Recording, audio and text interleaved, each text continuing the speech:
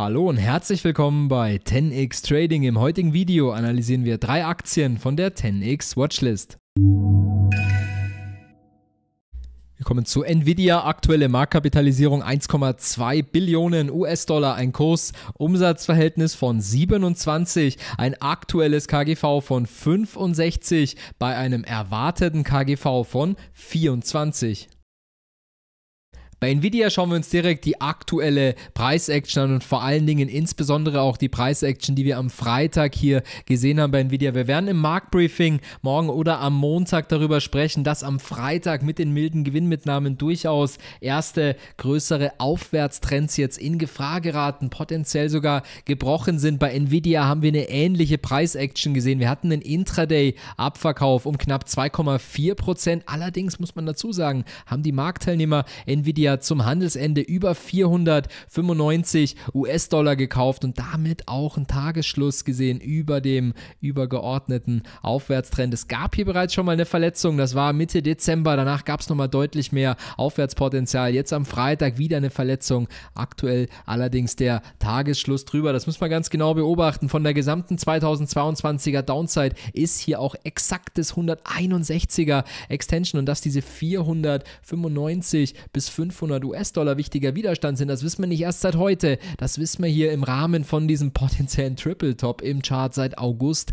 2023. Ich bin sehr, sehr gespannt, wie Nvidia ins neue Handelsjahr starten wird. Ob es hier dann direkt reichen kann für Kurse über 500 US-Dollar. Wichtig vor allen Dingen hier der Bereich dann auch nochmal von 505 US-Dollar. Das ist hier die wichtige Make-or-Break-Zone für Nvidia. Dann den Bereich 519. Das kann man auch nicht oft genug sagen. Das ist hier nachbörslich. Das inoffizielle Allzeithoch im 4-Stunden-Chart sieht man es hier mit den Earnings, sind wir kurz auf 519 gestiegen und dann haben abverkauft, haben diese Levels auch seitdem nicht mehr gesehen und über 519 US-Dollar gehen wir dann direkt in Richtung Zielzonen. Die erste ist hier zwischen 540 und 570. Ich würde aber dann für ein bullisches 2024 für Nvidia definitiv auch Kurse jenseits 600, 620 US-Dollar hier für denkbar halten. Und wer sich ein bisschen auch mit Harmonics auskennt, der weiß, wie wichtig das ist, dass dieser Auf Aufwärtstrend hier intakt bleibt. Denn ansonsten haben wir hier ein ganz klares Doppeltop in einem Aufwärtstrend, ein potenzielles Dragon Setup und dann wäre das Mindestziel auch mal für einen Pullback hier der Bereich um die 450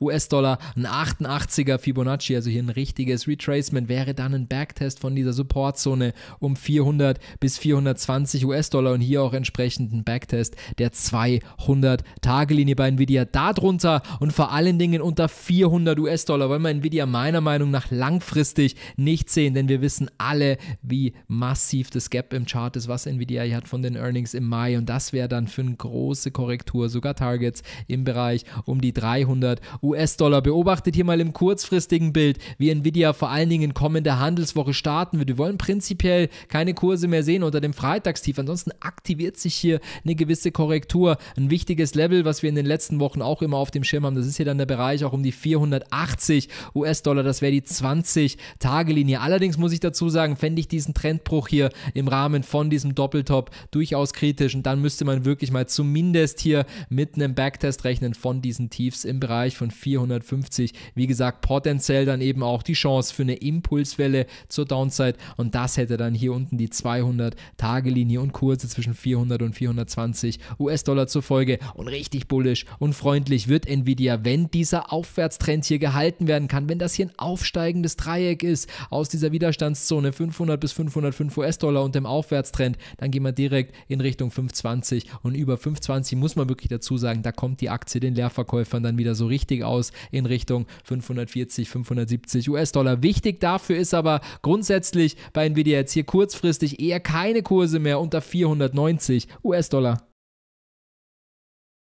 Für mehr Aktienanalysen und Trade-Ideen komm sehr gerne auf den Discord und werde 10x-Member. Dort kannst du dich mit über 350 Mitgliedern austauschen und profitierst ab 4,99 Euro im Monat von meinen täglichen Markt- und Aktienanalysen.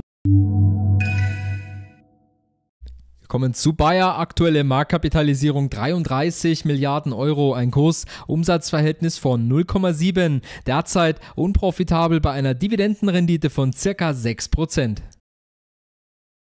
Bayer schauen wir uns zuerst im Wochenchart an und zwar im gesamten Chartverlauf zurück bis 1990. Und zwar ist mir hier wichtig, dass wir bei Bayer einmal die aktuellen Levels auf dem Schirm haben. Keine Frage, wir haben hier extrem wichtige Levels getroffen. Multijahrestiefs im Bereich zwischen 30 und 32 Euro. Das kann definitiv auch der Boden gewesen sein, möchte ich absolut nicht ausschließen für Bayer. Wir hatten hier eine Schulterkopf-Schulterformation im Chart. Das Target dafür wäre nochmal ein minimal tieferes Tief. Schauen wir uns gleich im nächsten Clip an, was mir hier im ersten ersten übergeordneten Bild jetzt mal wichtig ist. Allzeittief bei Bayer ist hier dieser Bereich zwischen 9,40 Euro und etwa 9,80 Euro.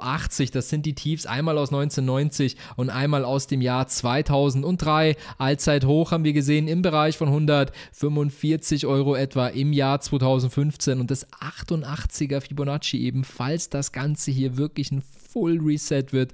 Das wäre dann hier das Level von etwa 24,50 Euro und das wäre für eine potenzielle weitere Abverkaufswelle dann mein Target, falls Bayer hier nochmal mehr Downside hätte. Wenn man darf auch eins immer nicht vergessen, klar sind das hier hochinteressante Levels, aber du hast hier eine Aktie, die zum Index, in dem sie gelistet ist, zum DAX sehr, sehr schwach ist übergeordnet. Wir wissen, der DAX ist aktuell in der Seitwärtsphase im Rahmen von Allzeithochs kann natürlich jederzeit scharf korrigieren und das wäre dann der Zeitpunkt, wo ich bei Bayer hier auch durchaus nochmal über tiefere Tiefs eben entsprechend nachdenken würde. Ganz klar, wenn der DAX seine Reise in den Norden fortsetzen sollte, wenn der DAX vor allen Dingen auch hier die 17.000 Punkte rausnimmt und dann wirklich in Richtung 18, potenziell 19.000 Punkte geht, dann hat Bayer hier den Boden getroffen und dann hat die Aktie natürlich sehr, sehr schönes Aufhol- und Aufwärtspotenzial. Keine Frage. Wichtig ist aber, dass man es eben immer auf dem Schirm hat, wenn man relative Schwäche kauft gekauft und deutlicher relativ schwach als Bayer zum DAX kann man eigentlich kaum eine Aktie haben. Dann muss man sich in Supportnähe eben immer im Klaren sein,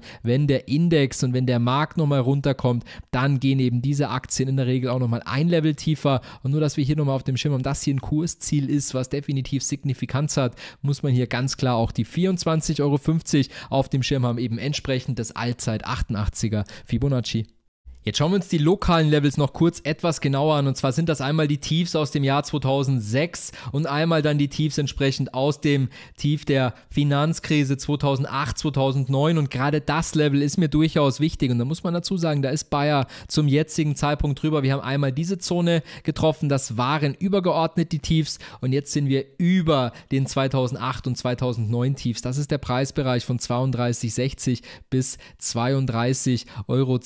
Und das schauen wir uns jetzt hier im aktuellen Bild an. Wir haben hier seit einigen Wochen jetzt eine durchaus schöne Aufwärtsbewegung. Schauen uns das Ganze auch noch gleich im Tageschart an. Aus dem lokalen Abwärtstrend, vor allen Dingen hier aus dem letzten Teil des Abwärtstrends, sind wir noch nicht ausgebrochen. Da bräuchte es dann auch Sim Breakout, vor allen Dingen in Richtung 38er, 50er Fibonacci. Das wären 35 bis 36,50 Euro. Wir sehen aber hier wirklich durchaus eine schöne Bodenbildung, eine schöne Erholungsbewegung zum jetzigen Zeitpunkt. Wichtig ist, dass wir hier signifikante Tiefs getroffen haben, dass dass wir bereits meiner Meinung nach die Aktie nicht mehr unter 32 Euro sehen wollen. Das wäre ein erstes großes Warnsignal. Natürlich wäre ein Bruch dann dieses kurzfristigen Aufwärtstrends hier sehr, sehr kritisch, denn wir hatten gerade darüber gesprochen, es gibt nochmal tiefere Kursziele für Bayer. Das eine wäre das akkurate Target von dieser Schulter, Kopf-Schulter-Formation hier angesetzt an die Breakdown-Stelle. Dann wären wir hier unten im Bereich zwischen, ja, das sind sogar 27,80 Euro bis etwa 28,90 Euro. Wobei man da dazu sagen muss, das wäre vielleicht wirklich nah genug dran, um hier trotzdem zu sagen, alles klar, die Schulter, Kopf-Schulter-Formation, die haben wir abgearbeitet. Was man aber immer auf dem Schirm haben muss, gerade im Rahmen von so einem übergeordneten Crash bei so einer Aktie, das ist natürlich dann das 88er Fibonacci und das wären dann eben durchaus Kurse nochmal deutlich unter 30 Euro. Wie gesagt, im Bereich 24,50 Euro. Und im Tageschart schauen wir uns Bayern natürlich auch noch an. Und muss man dazu sagen, zum jetzigen Zeitpunkt, seit dem Tief ist hier alles in Ordnung. Wir sehen eindeutig steigende Tiefs und auch steigende Hochs aktuell. Was wir natürlich sehen wollen, das ist der Breakout aus diesem Abwärtstrend. Das ist der Abwärtstrend, den wir auch gerade im Wochenchart gesehen haben. Und das ist hier eben dieser Bereich 38er, 50er Fibonacci. Das wären 34,90 Euro bis 36,40 Euro. Da müssen wir raus mit der Aktie. Und dann kann sich dieser Aufwärtstrend entsprechend fortsetzen. Die darf vorher aber aber nochmal auch ein bisschen runterkommen. Das muss man auch ganz klar dazu sagen. Wir dürften hier jederzeit, und da würde ich dann vermutlich auch mal eine Tranche jetzt einsammeln bei Bayer, wenn wir hier nochmal einen Backtest sehen würden des Levels von 32,50 bis etwa 32 Euro, hier nochmal die 20-Tage-Linie antesten, potenziell dieses kleine Top hier ab als Support abholen, möglicherweise auch nochmal diesen Aufwärtstrend antesten, einfach nochmal ein deutlich höheres Tief in den Chart zeichnen hier. Das wäre durchaus wichtig muss aber auch dazu sagen, wir haben hier unten eine Kurslücke offen, aber aus wirklich unmittelbar bullischer Sicht sollte die oder könnte die dann durchaus auch offen bleiben. Wichtig ist, dass wir sie nicht mehr unter diesen Levels sehen wollen. Also der Bereich zwischen 31 und 32 Euro, das ist jetzt hier aus bullischer Sicht der Make-or-Break-Support. Nur dann bauen wir hier wirklich weiter an steigenden Hochs und steigenden Tiefs und können uns dann hier auch entsprechend nach oben schrauben. Denn klar darfst du im Rahmen von so einer Abwärtsbewegung solche wackeligen, vor allen Dingen Aufwärtsbewegungen niemals überschätzen. Das kann jederzeit auch nochmal eine Bärenfahne sein und das wäre dann eben Trigger für einen Abverkauf in Richtung 88er Fibonacci und dafür, wie gesagt, wollen wir Bayer meiner Meinung nach nicht mehr sehen unter 32 bis 31 Euro. Im Extremfall dürfte sie hier diese Kurslücke noch schließen. Das müsste dann aber wirklich als Dipkauf aggressiv gekauft werden. Und was wir dann natürlich sehen wollen, ist ganz klar auch der Breakout hier aus diesem Abwärtstrend. Wenn dir das Video Mehrwert bietet, lass sehr gern dein Like da, dass es der YouTube-Algorithmus möglichst vielen Leuten empfiehlt und abonniere auch den Kanal, dass du jetzt in dieser wichtigen Marktphase nichts mehr verpasst. Kommen zu Coinbase, aktuelle Marktkapitalisierung 41,6 Milliarden US-Dollar, ein Kurs-Umsatzverhältnis von 15, derzeit unprofitabel und eine Shortquote von 12,5 Prozent. Coinbase schauen wir uns zuerst im Wochenchart an und zwar im gesamten Chartverlauf. Und hier geht es primär jetzt mal um zwei Dinge bei Coinbase. Das eine ist, wir sind aus dem großen Abwärtstrend ausgebrochen und zwar mit der letzten Handelswoche vom 18. Dezember. Das war eine klare Impulskerze mit einem Plus von 18 Prozent, die gerade abgelaufen und damit letzte Handelswoche im Jahr 2023 zeigt uns jetzt hier eine Doji-Kerze an und zwar exakt am 38er Fibonacci bei 183 US-Dollar. Habt mir das bitte mal auf dem Schirm, dass Coinbase hier durchaus ein wichtiges Level getroffen hat. Auf der linken Seite ist hier auch eine wichtige Widerstandszone. Das muss man ganz klar auf dem Zettel haben. Die geht hier potenziell bis in den Bereich 206 bis 210 US-Dollar. Man muss aber dazu sagen, man sieht hier eindeutig, wie der Markt auf das 38er Fibonacci hier reagiert bei 183 US-Dollar. Im Wochenchart sehen wir auch, dass die Aktie durchaus überkauft ist. Man muss aber dazu sagen, gerade falls das Momentum Momentum im Kryptobereich weitergehen sollte, wird meiner Meinung nach Coinbase auch weiter steigen. Ist auch eine Aktie, die natürlich jetzt gerade im Rahmen von dem Bitcoin Spot ETF hier wirklich im Rampenlicht steht. Das heißt, das wird hier durchaus auch wichtig sein. Ich muss dazu sagen, die aktuelle Wochenkerze testet hier gerade das Top der Bollinger Bänder im Wochenchart als möglichen Support. Das ist sehr, sehr stark überkauft. Da braucht man nicht drüber reden. Bereits auf die 20-Tage-Linie hätte Coinbase hier ein Downside-Potenzial von 10%, um hier diesen Breakout-Potenzial Back zu testen, wären es sogar 15% Abwärtspotenzial. Das schauen wir uns gleich noch auch im Tageschart an. Habt das mal auf dem Schirm. Grundsätzlich ist das Momentum bei Coinbase hier noch völlig intakt. Das sehen wir ja auch angezeigt durch den Aufwärtstrend, der hier noch völlig intakt ist. Aber, und das darf man hier auch nicht ignorieren, wir haben hier das erste der wichtigen großen Kursziele im Bereich der Aufwärtsbewegung getroffen mit dem 38er Fibo. 50er wäre bei 230 US-Dollar, 61er bei 277 US-Dollar. Aber für den Moment muss man ja ganz klar mal dazu sagen, wir respektieren jetzt hier die 183 US-Dollar als wichtigen Widerstand, sagen aber auch ganz klar dazu, wenn es hier den Breakout gibt aus den 183 US-Dollar, sind 230 definitiv dann das nächste Ziel und wo wir die Aktie jetzt ungern drunter sehen wollen, das schauen wir uns jetzt im nächsten Clip an, im Tageschart. Und da sehen wir schön, dass die Aktie hier buchstäblich am 38er Fibonacci reagiert hat. Die Mittwochs- und Donnerstagskerze haben leicht drüber geschlossen und die Freitagskerze hat jetzt bearish hier engulft. Das muss man ein bisschen auf dem Schirm haben. Das war ein Minus von knapp 7%, also durchaus mit Gewinnmitnahmen aus dem Jahr rausgegangen. Aber habt bitte auch mal auf dem Schirm seit Ende Oktober 165% und jetzt hier gerade mal ein Pullback von 7%. Ich habe uns hier mal eine Zone jetzt markiert, wo ich Coinbase jetzt gerne drüber sehen möchte auch falls es hier eine Korrektur gibt. Und zwar ist das hier der Bereich um 150 US-Dollar. Das war hier mal der Versuch von Support im März 22, als wir drunter gebrochen sind, ist die Aktie sehr steil zur Downside durchgebrochen und zwar auch in Richtung der Allzeit-Tiefs letzten Endes. Und da sehen wir jetzt aktuell eben auch die Chance, dass wir dann hier nicht nur den Breakout aus dem Abwärtstrend als Support bestätigen können, sondern eben hier wäre auch weiterhin dann dieser Aufwärtstrend intakt und hier ist auch die 20-Tage-Linien. Pullback auf 150 US-Dollar wäre jederzeit drin. Drunter muss man dazu sagen, müsste man möglicherweise sich das Ganze hier mal anschauen.